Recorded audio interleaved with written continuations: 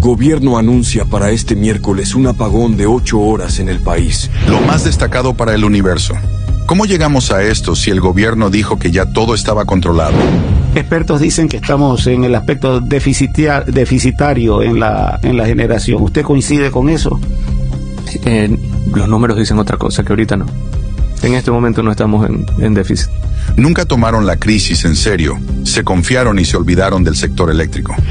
La ley no más apagones era eso, no más apagones.